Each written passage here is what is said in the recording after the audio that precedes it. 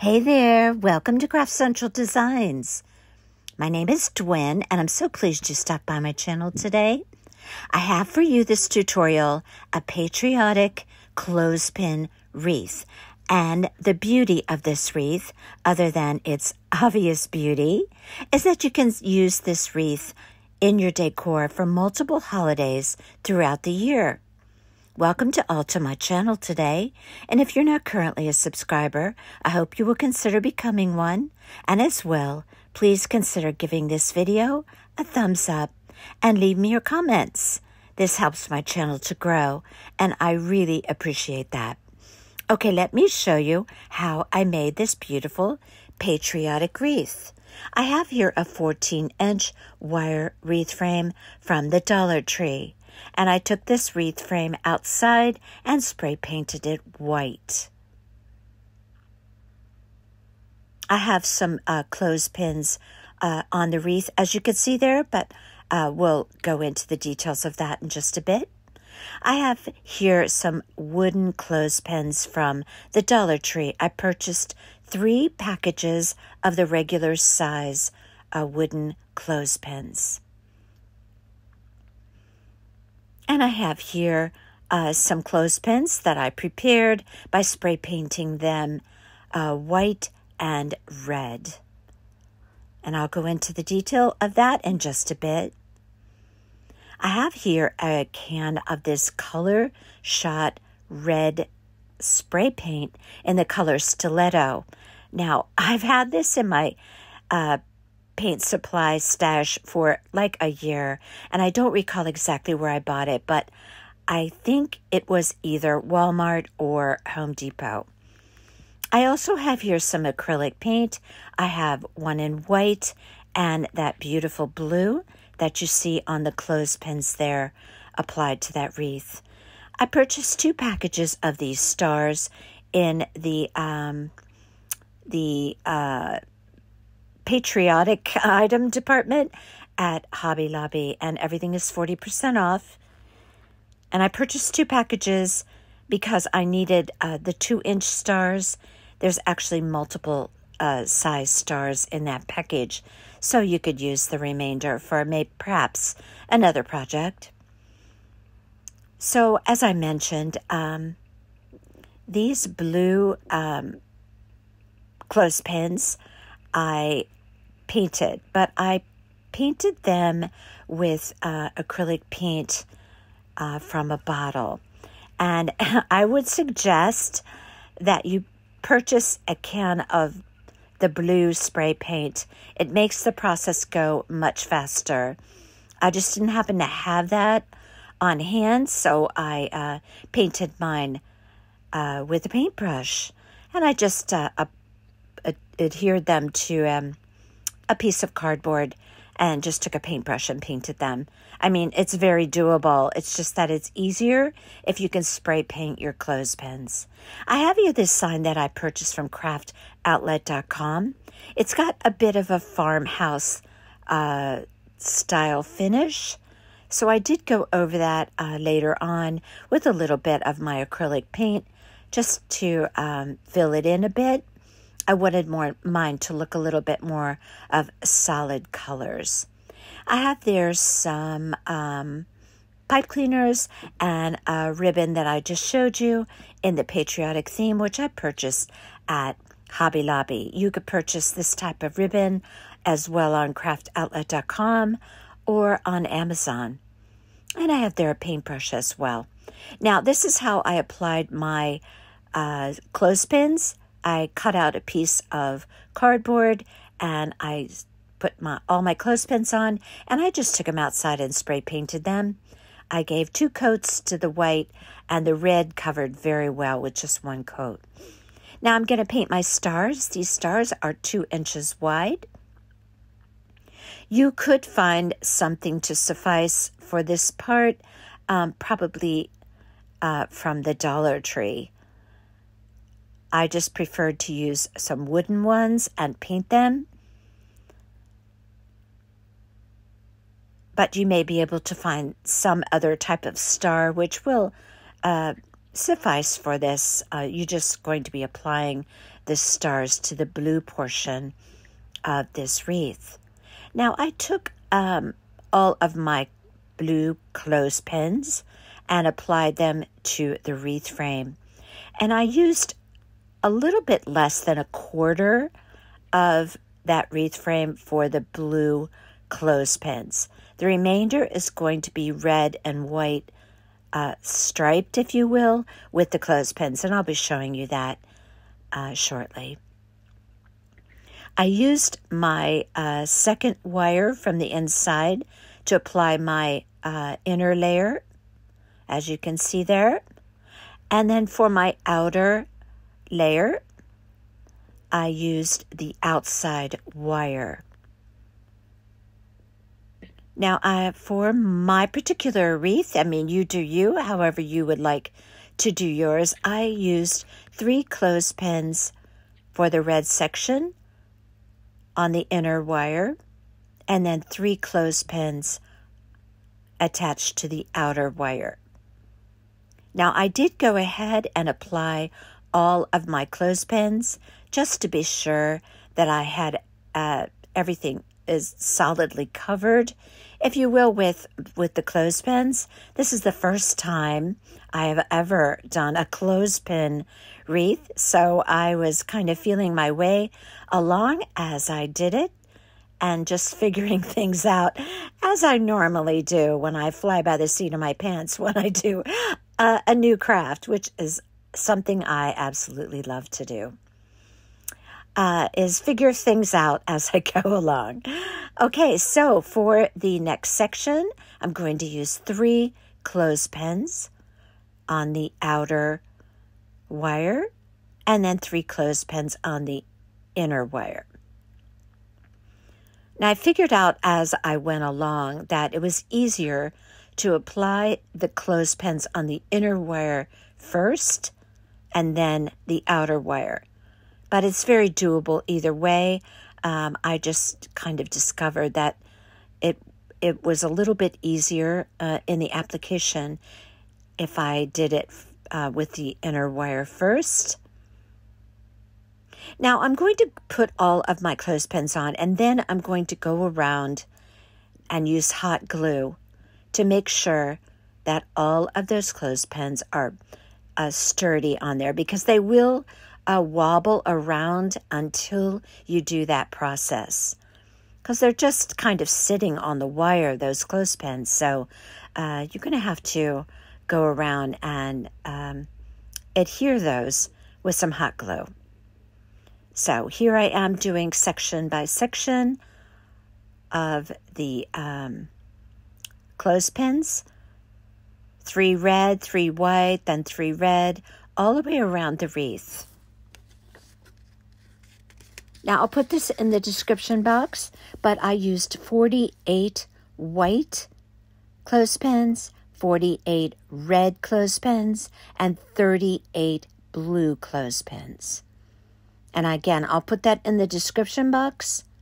So when you're doing your spray painting, you need to be sure to have the correct number of clothespins if you're going to create your wreath exactly like I am here in this tutorial.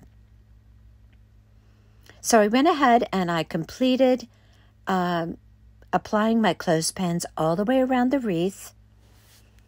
And now I'm going to make my bow. And of course, there is a bow involved. Now, this is a very pretty ribbon that I purchased um, at Hobby Lobby. But as I mentioned, it, there's so many patriotic ribbons um, out there. CraftOutlet.com has beautiful ones. You can find them on Amazon just by typing in a search for patriotic ribbons, red, white, and blue ribbons. This is a 2.5 inch ribbon, and it was 40% off at Hobby Lobby in their patriotic item uh, department. I'm going to be creating a four loop bow. Each of my loops are around nine and a half to 10 inches, and I use my uh, method that I always use to create bows. I fold over my loops, twist my ribbon, hold, pinch and hold it in the center to hold my loops. Two loops on each side. Then I'm going to be creating one loop that goes right down the center. Now on my final wreath, I ended up adding a bow that had three uh, loops on each side as opposed to the two. Um, and again, like I said, um, I determine everything that I'm going to do on a wreath as I go along. And after I had the uh, wreath all finished, I just felt like a three loop on each side bow or six loops altogether filled up that um, wreath a little bit more to my liking. So here you'll see me doing a four loop bow. But if you would like to have a little bit fuller bow like I did, just add another loop on each side. It's all done the same method, just adding one more loop instead of having two. You can add uh, three loops on each side. And I just felt it was um, a nicer looking bow like that. All right, so uh, what I did additionally is I did a, a single loop sitting on top of the double um, loops that you see there. So if you're doing a three loop bow, you're just putting a single loop resting on top of three loops. Now I make this loop a little bit smaller. I want to say around eight inches. So you can see that it's just resting on top of the loops that were nine and a half to 10 inches. This is a little bit fuller bow that I'm doing uh, for this wreath today. And I use a pipe cleaner and put it right down the center. Now I do have bow tutorials. I have multiple bow tutorials that I take it uh, very slow and methodical so that you can learn to do bows like I do. You can as well use a Bowdabra or an easy bow maker. That's up to you. Um, I prefer to do all of my bows um, by hand. Okay, so I'm going to create a simple uh, single loop going right down the center. So all I do is just fold my loop under, catch it with my thumb there, keep hold it in the center until I reach around the back and get a pipe cleaner tail from the back side. Poke it through the center loop, bring it around the back, and give it a twist.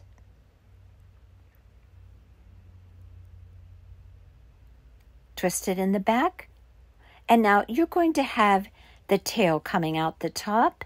So all you have to do is simply detach or cut the um, ribbon off from the spool and you're going to take that tail that's on the top and poke it through the center loop, marry up the tails on the bottom, and you have a beautiful patriotic bow. The one you see here is the two larger loops on each side with a little bit smaller loop resting on top of that. And like I said, I ultimately uh, added a third loop, actually did another bow, um, and I created three loops, three of the larger loops, and then one single loop resting on top, and then this single loop that goes right down the center.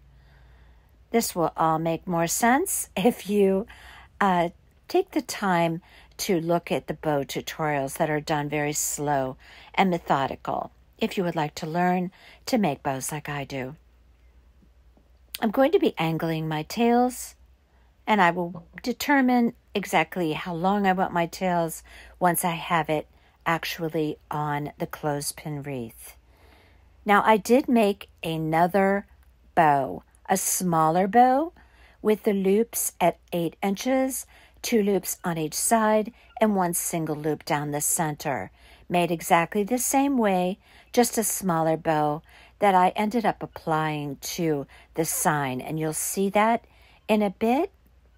So I have two bows on this wreath, one larger and one a little bit smaller. Now I'm just preparing my sign, putting uh, some pipe cleaners uh, on the back, full size pipe cleaners, And I also use Aleene's Tacky Glue. And I put a piece of felt down because I want this sign to be held securely onto this wreath.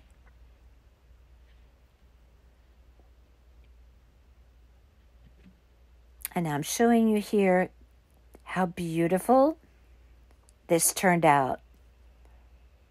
And using the number of clothespins that I mentioned before and that you will see in the description box will fill this wreath frame up and have everything evenly distributed. Now I'm going to take my hot glue gun and in on the inside of the clothespins where they will rest on the wreath wire, I put hot glue. And I'm going to go around the entire wreath. And no, this does not take forever. It's actually a pretty quick process. Just pull each clothespin off, put some hot glue, and attach it to the wreath frame. And this is going to um, help to keep those clothespins from bobbling around. In particular, when you're handling it, obviously, if it's on the door, they're not going to be doing that. But um, it's just easier to secure them so you don't have to be concerned about it. And you can see here that I'm just reapplying my clothespins, making sure they're straight and aligned by simply applying some hot glue on the inside of the clothespin where it's going to rest on the wire wreath frame.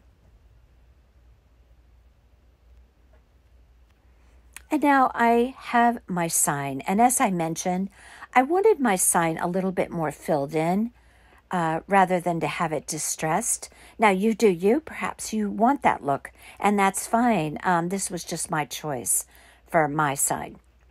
Now, I'm going to be resting that sign that I'm using um, off a little bit to the right of the midline of that wreath with my blue uh, area of the wreath frame with the stars on the left, upper left side.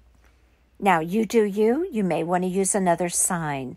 There's certainly plenty of them uh, out there. Check out Dollar Tree. They have a lot of um, patriotic items as well. So I am going to be applying my stars now, and I'm going to use Aleene's Tacky Glue for that. This wreath is definitely going to be on the outside, and it's in Florida where it's going to be hanging on a door, so I have to be mindful of um, keeping everything attached to the wreath.